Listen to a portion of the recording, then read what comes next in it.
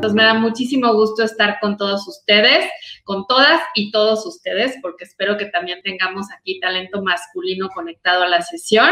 Este, como les dijo Mara, hoy les voy a hablar mucho de cómo la cultura, tanto de las empresas como de nuestros hogares, influye en el empoderamiento de las próximas líderes en el sector tecnológico. Así que bueno, encantada de estar aquí, Mara. Este, sé que tú me vas a ayudar con los slides, así que te pediría que pasáramos al siguiente, por favor. Muy bien. Bueno, pues primero que nada, eh, presentarme, creo que ya Mara dio una semblanza de quién es Ángela, pero les quiero contar un poquito de quién soy yo. Eh, ya Mara se los dijo, eh, muy orgullosa de decirles que soy ingeniera en sistemas. Estudié mi carrera y también mi maestría en el Tecnológico de Monterrey. ¿Y por qué digo esto? Porque soy ingeniera de una generación en donde menos del 5% de las mujeres participaban en carreras STEM, ¿no? Sabemos que hoy andamos alrededor del 12%, pero cuando yo tomé la decisión de estudiar ingeniería en sistemas, realmente éramos una minoría las que tomábamos la decisión, no solamente de estudiar algo de, sistemas, pero también temas relacionados con ingeniería, ¿no? Y bueno, algo, algo que me gusta contar mucho en estos foros es que pues mi historia en este sector de la tecnología comienza desde casa. Eh, contarles que mi papá es ingeniero mecánico y durante muchísimos años trabajó en Mastercard, es una empresa que seguramente todas ustedes conocen y todos ustedes. Y bueno, eh, la verdad es que él me llevaba a su oficina eh, y les platico que mi pasión era ir a ver lo que yo le llamo ahora la computadora, ¿no? Eh, la computadora, si yo les digo ahorita la computadora, van a decir, Ángela, tu pasión era, era ir a ver un dispositivo de, ¿no? de 30 por 30 centímetros, no. En ese momento, lo que le llamamos la computadora era un cuarto de metros y metros, este, en donde realmente estaban esos dispositivos que se encargaban de procesar los pagos de las tarjetas de crédito, lo que ahora se llama en línea. En ese momento pues tomaban más tiempo y la verdad es que me encantaba estar ahí. Yo no recuerdo si había mujeres, yo creo que no, adentro de ese cuarto enorme, este, pero la verdad era una de mis, de mis diversiones cuando mi papá me llevaba ahí. Y la verdad es que además de contarles esta anécdota, que la verdad yo creo que desde muy chiquita me encantaba la computadora, eh, yo creo que lo más importante es transmitirles eh, el tema de que el concepto de género nunca fue una limitante dentro de mi familia. Les puedo contar y asegurar que nunca hablamos ni de techos de cristal, ni de limitaciones sobre mis expectativas salariales por ser mujer. Eso mi papá nunca me dijo, Ángela, no estudies ingeniería o eh, seguramente no vas a tener las mismas oportunidades que los hombres. Él lo único que me dijo fue, estudia lo que te guste. La escuela solo es un periodo de formación porque estoy seguro que al final hallarás algo que te, te haga feliz y lo harás bien y lo harás eh, siempre contenta y eso te va a llevar a ser exitosa, ¿no? Entonces, les platico esto porque creo que, que, que esas son, digamos, los pilares de quién es Ángela. Y la verdad es que desde pequeñita nunca tuve en mente esas diferencias de género, eh, sino realmente me enfoqué en hacer lo que en ese momento a mí me pareció que era lo mejor, estudiar ingeniería en sistemas este, y, y, hacer lo mío, ¿no? Y por eso eh, ahorita les contaba Mara que llevo ya muchos años en este mundo de la tecnología. Ahora, eh, eso fue en mi casa, pero la verdad es que durante mi carrera profesional me fui dando cuenta que esos mensajes que me daban en mi casa de no hay techo de cristal, este, no, no, no vas a tener menos oportunidades por ser mujer, la verdad es que no era, no era una regla, ¿no? Sino realmente era una excepción. Y la verdad que me di cuenta que yo tenía una responsabilidad muy importante, no solamente con mi propia carrera, sino como líder de los equipos que me había tocado, que me ha tocado liderar durante, durante mi trayectoria, ¿no? Y bueno, por eso estoy aquí, eh, para compartir con ustedes un mensaje muy importante sobre, eh, pues, finalmente lo que nosotros tenemos que hacer en esta lucha de la, de la diversidad y de la inclusión, este, encontrando el propósito, o sea, qué queremos lograr, pero también cómo llevarlo a cabo en las, en las empresas este, y obviamente sobre todo en las empresas de tecnología. Y también contarles un poco cómo en SAP eh, hemos trabajado, porque hemos trabajado muchísimo para lograrlo, ahorita les voy a platicar, este, eh, cómo sumar más talento femenino a posiciones de liderazgo, este, y no solamente por, porque lo tenemos que hacer, sino porque realmente creemos que esto suma a la competitividad de nuestro país, ¿no? Entonces, bueno, yo siempre he creído que, que el éxito de cada uno de ustedes lo tenemos que multiplicar y hacer que nosotras, que somos el 51% de la población, este, nos toque eh, eh, liderar compañías, nos toque liderar equipos y, contribuir obviamente al crecimiento de, nuestro país, que es México, ¿no? Entonces, bueno, Mara, si me ayudas con, el siguiente slide, por, por favor. Muy bien. Bueno, primero que nada, recordar un poquito, y yo creo que por eso están ustedes aquí, yo lo que he visto en los últimos años es que las nuevas generaciones siempre están buscando eh, una sociedad más justa, eh, con igualdad de oportunidades, obviamente, y con la diversidad e inclusión como pilares del progreso y desarrollo económicos. La verdad es que las desigualdades y las brechas siguen siendo un tema, ¿no?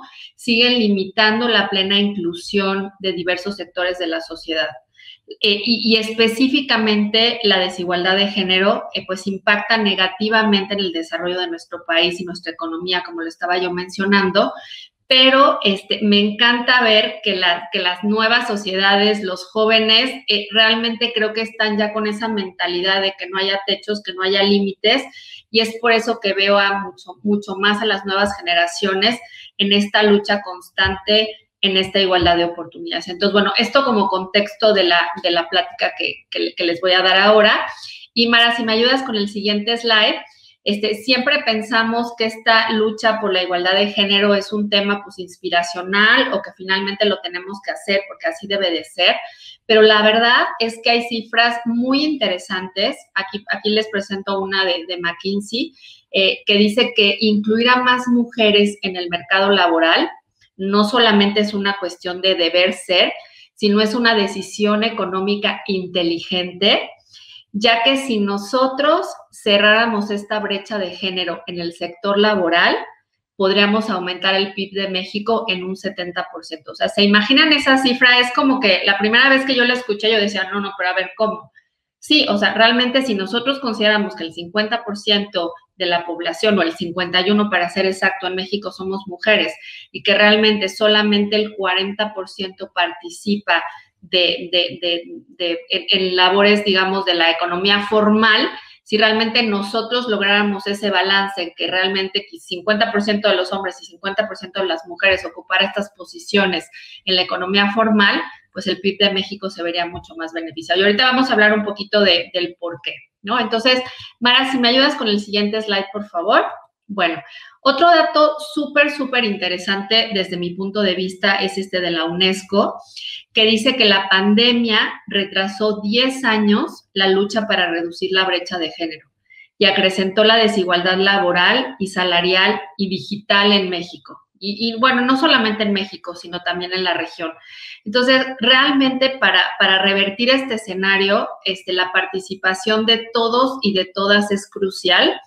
Ya se los dije anteriormente, las mujeres somos más del 50% de la población en México, 51% según INEGI, y por lo tanto tenemos que volvernos ese motor de desarrollo y de recuperación económica del país, ¿no? Entonces, este, yo creo que la pandemia eh, seguramente habrán escuchado, muchas de las mujeres tuvieron que dejar su trabajo porque no tenían que cuidar a sus hijos o tenían que dedicarle tiempo a estar con sus hijos en la escuela. Entonces, definitivamente, pues nos vino a afectar muchísimo y más en este tema de brecha de género. Por lo tanto, pues hoy estamos aquí para hablar del cómo recuperar tiempo perdido y para eso los necesitamos a todos ustedes y a todas ustedes. Entonces, ahora, seguramente me van a preguntar, estamos conscientes de que es una lucha que hay que hacer, pero ¿cómo la vamos a hacer? ¿no? Entonces, bueno, este, Mara, si me ayudas con la siguiente, por favor. Bueno, algunos datos, ¿no? Eh, realmente quiero contarles un poco los beneficios eh, que tiene para, para, para muchas áreas de la población el cerrar estas brechas de género. Primero que nada, las mujeres, ¿no?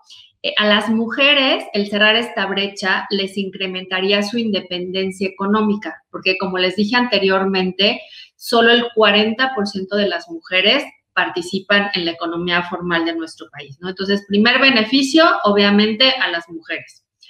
Segundo beneficio, a la sociedad. Eh, un dato muy interesante también es que las mujeres gastamos el 90% de nuestros ingresos en temas de educación y salud versus el 40% de lo, que de lo que gastan los hombres. Y bueno, yo siempre hago la pregunta, bueno, ¿y en qué gastan los hombres, no? En realidad, los hombres quizá a lo mejor piensan más en temas, no voy a decir solo de coches, pero de largo plazo, a lo mejor un crédito hipotecario, a lo mejor temas de diversión, vacaciones.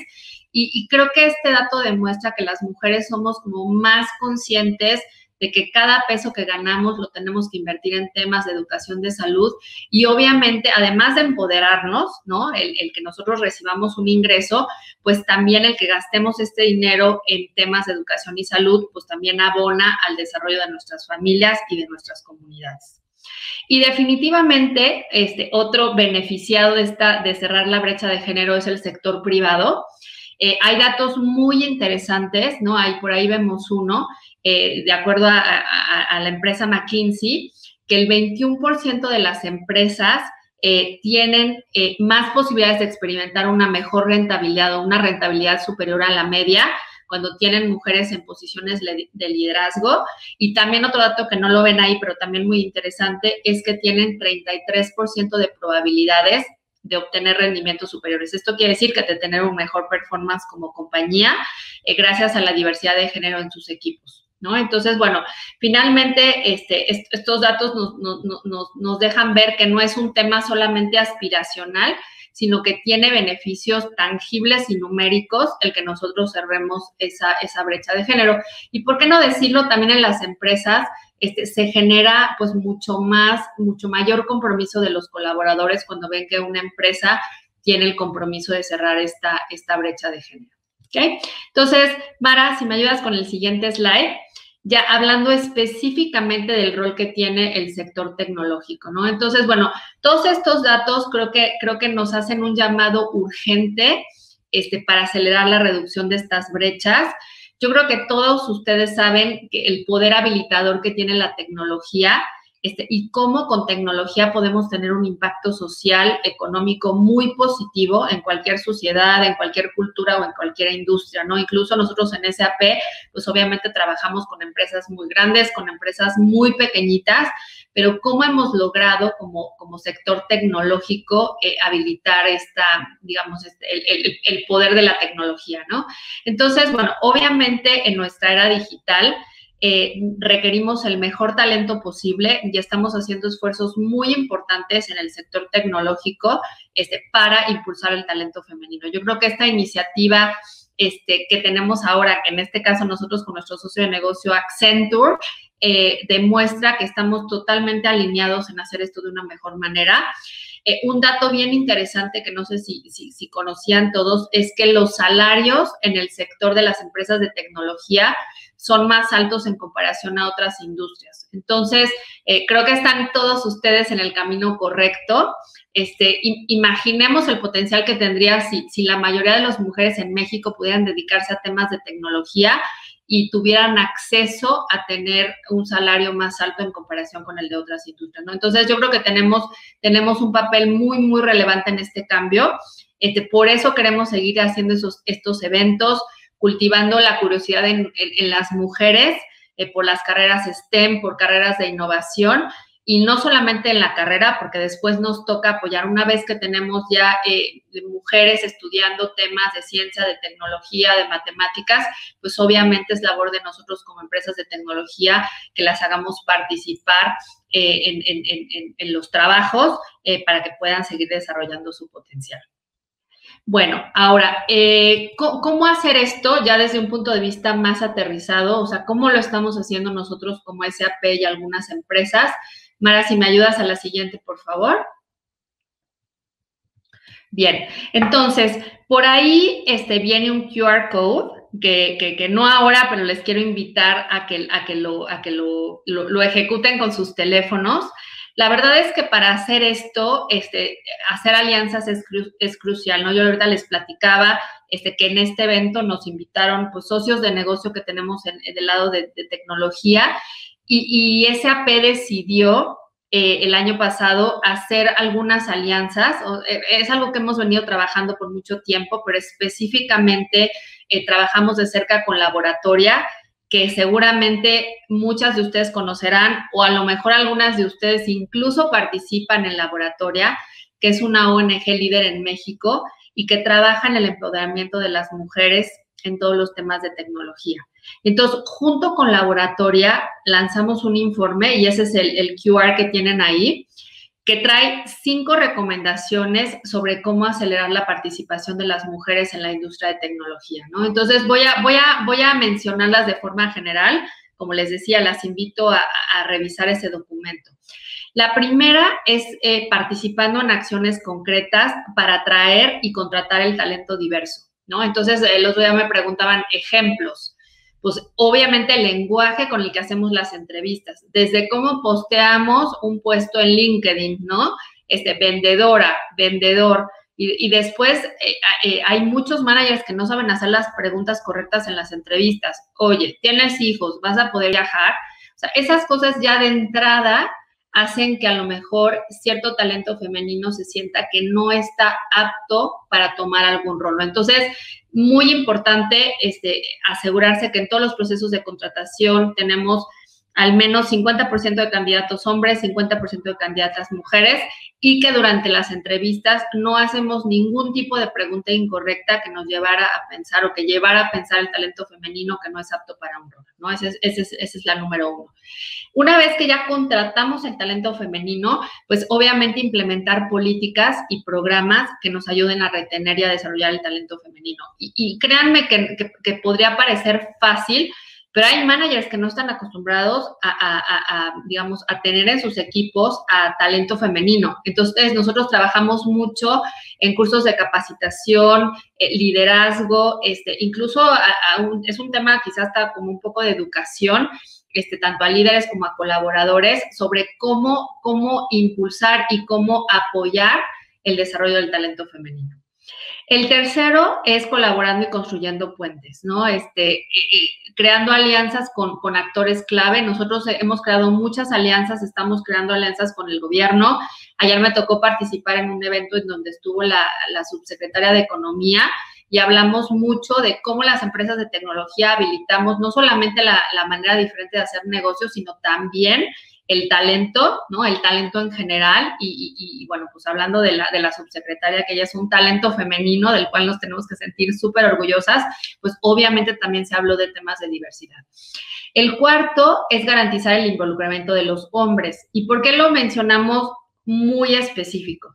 No podemos olvidar que hoy el 70% de las sillas de las posiciones de liderazgo las tienen los hombres. Entonces, si nosotros nos aseguramos que tengamos el compromiso de nuestros colaboradores hombres con el desarrollo de mujeres, esto no va a suceder. Y otra cosa, muchas veces lo que pasa es que si hay muchos hombres en las posiciones de liderazgo, de pronto no le dan oportunidades a las mujeres a que estén en discusiones complejas en las que puedan aportar valor y eso hace que las mujeres no puedan tener acceso a seguir eh, creciendo en las empresas, ¿no? Entonces, garantizar el involucramiento de los hombres es, vital. Y el quinto, eh, recabar y desglosar datos con perspectiva de género. Yo sí soy firme creyente en que lo que no se mide no sucede. Por lo tanto, tenemos que generar reportes, indicadores este, de, los avances que las empresas estamos teniendo, las empresas y, los diferentes sectores estamos teniendo en temas de diversidad, este, porque como les decía, pues lo que no medimos no mejora. Y ahorita vamos a hablar un poquito más del tema de, cuotas de género y por qué existen, si son buenas o son malas, ¿no? Entonces, bueno, eh, los invito nuevamente a conocer el documento, Mara, y si me ayudas con el siguiente slide, por favor. Listo. Bueno, ahora, ahora muy rápido les voy a, les voy a platicar de, cuál es la visión de SAP, ¿no? Entonces, en SAP, eh, diversidad e inclusión son valores clave para nuestra cultura organizacional, este, así como en el desarrollo de nuestros negocios y nuestros equipos. Eh, no solamente lo vemos como un tema de derechos humanos, sino realmente es un pilar de nuestra estrategia competitiva.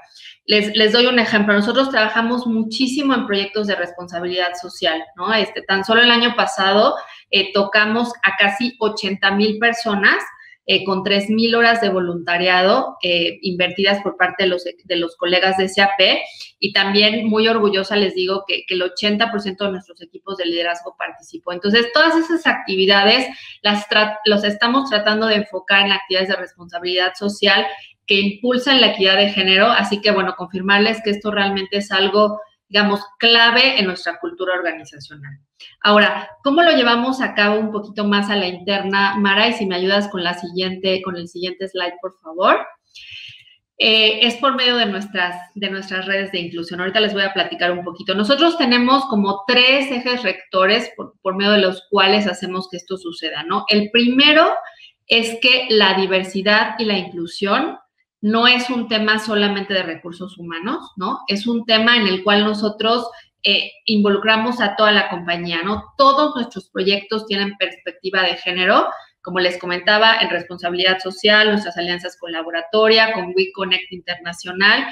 Eh, otro ejemplo, nuestras instalaciones, pues nos aseguramos de que haya guardería, de que haya sala de lactancia, en los eventos de marketing, cuando salimos al público a hablar, pues obviamente nos aseguramos que tengamos representación también de, diversidad de género. Entonces, y, bueno, no, solamente les decía en, ciertos niveles de la compañía, este, sí tenemos una, una, un foco muy importante en el equipo de liderazgo, porque pues regularmente el 70% del, equipo de liderazgo son hombres y bueno, también compartirles que, que, varios de nuestros colaboradores hombres se han unido a una campaña de Naciones Unidas que se llama He for She y la verdad lo digo con muchísimo orgullo. Entonces, el segundo eh, pilar de cómo lo hacemos en SAP, ya lo dije antes, es establecer métricas. En SAP eh, queremos tener el 30% de nuestras mujeres en posiciones de liderazgo para finales del 2022. Y ojo que no estamos hablando de cuotas de género, estamos hablando realmente de cómo impulsamos el talento de mujeres eh, para que se desarrollen profesionalmente en SAP. Y bueno, me complace contarles que en SAP México ya estamos en ese porcentaje, en ese 30% de mujeres en posiciones de liderazgo. Y también decirles que esto es casi tres veces más que el promedio del sector privado en México. Así que muy orgullosa se los digo. Y el tercero es justamente armar estas redes de diversidad e inclusión. Y no solamente le llamamos redes, sino también redes de aprendizaje. Yo he encontrado que estas redes de diversidad son espacios en los que realmente se discuten, se aprenden, se hacen coaching de temas en los que a lo mejor antes en las empresas no se hablaba. Nosotros tenemos cuatro redes que las van a, que las pueden ver ahí en el slide. La primera se llama Autism at Work y esta red lo que busca es incluir a personas en el espectro autista. Nosotros en México ya contamos con seis colaboradores eh, eh, que, tienen este espectro y que la verdad este, han generado resultados increíbles para la compañía. Tenemos otra red de diversidad e inclusión que se llama Business Women Network para desarrollar las carreras profesionales de las mujeres en SAP. Eh, tenemos Pride de SAP para obviamente promover la inclusión de la comunidad LGBT Q+. Eh, y bueno, esta red pues celebra ya 20 años en el mundo y orgullosamente les digo que 5 años en México. Y también tenemos otra que se llama Cultures at SAP, que la verdad también lo que hace pues es que nos hace eh, entender otras culturas y otras nacionalidades. Entonces, bueno, la verdad es que estas redes pues nos sirven para crear conciencia, nos sirven para capacitar a nuestros equipos. Yo les decía, capacitamos a managers en cómo cómo tratar a nuestros colaboradores mujeres eh, y, también muchos programas de mentoría, este, porque pues la verdad nosotros hacemos mentorship de los más senior a los más junior, pero también de los más junior a los más senior, porque yo siempre creo que, de todos podemos aprender, este, y no solamente hablando de edad, sino también en, diversidad de, género y algunas otras eh, cosas como diferentes culturas, ¿no? Entonces, bueno, eh, Mara, si me ayudas a pasar al siguiente slide, por favor. Listo. Bueno, entonces, eh, un poquito ya yéndome hacia la parte, pues quizá más de lo que nos toca a cada uno de nosotros, creo que, todos estamos claros de que las organizaciones estamos formadas por personas. Yo siempre digo que además de trabajar con profesionales, trabajamos con personas. Entonces, si queremos alcanzar estos objetivos como empresas privadas y públicas, tenemos que asegurarse que cada persona en cada equipo, en cada nivel de la organización, eh, incorporen mejores prácticas como las que, las que platicamos el día de hoy. No digo que sean las únicas, hay empresas que están haciendo cosas maravillosas y yo simplemente les vengo a contar lo que estamos haciendo en SAP y nos está funcionando. Y la verdad que el mensaje que les quisiera dar es, eh, cada uno de ustedes tiene que descubrir ese propósito, o sea, cómo va a trabajar en el día a día personal, profesional y en su empresa para que esto suceda, ¿no? Este, obviamente ya teniendo ese propósito en mente, como el mío, que es que ahora desde esta posición yo pueda hacer, no solamente antes por un cliente, ahora por muchos clientes, sino ahora también por el país, ¿no? Y por eso estoy aquí, este, lograr empatar este propósito que yo tengo con obviamente los propósitos que tengan que tenga la compañía. Y el tercero sería todo lo que ustedes vayan aprendiendo, toda su experiencia en este ámbito, que sean muy vocales, ¿no? Este, en decirlo hasta en la familia, ¿no? Si ustedes tienen hijas chiquitas, impulsarlas a, estudiar este tipo de, de, carreras. O sea, yo creo que entre más hablemos del tema, pues obviamente tenemos una sociedad más abierta a eliminar estas barreras eh, y ayudarnos con los temas de diversidad e inclusión, ¿no? Entonces, Mara, si me ayudas con el último slide, este, yo tengo pues una frase muy, muy, muy interesante que dice que pues el éxito de cada una de nosotras es el éxito de todas. O sea, cada vez que una mujer triunfa en el ámbito laboral, personal, ¿no? Este, pues simplemente nos representa y hace que, esta, que, este balance en los temas de diversidad esté sucediendo. Bueno, así que pues me voy al último slide, Mara, para dejarles por ahí mis datos de, de, de LinkedIn. Este, la verdad que les súper agradezco este espacio. Me encanta estar aquí. Ojalá que fuera, hubiera sido presencial, me hubiera encantado este, conocerlos y conocerlas a todas. Pero bueno, me orgullece saber que ustedes son esa, esa prueba de este cambio de paradigma que queremos que queremos hacer, ¿no? Este, los, las invito y los invito a, a seguir cultivando esa curiosidad, ¿no? este, para que no demos un paso atrás en esta inclusión de las mujeres en temas STEM y cualquier otra área en la que se quieran desarrollar. Así que bueno, gracias nuevamente a Accenture. ¿no? Eh, por, habernos invitado y bueno, Mara, ustedes también por haber creado este, este evento que me parece súper, súper interesante.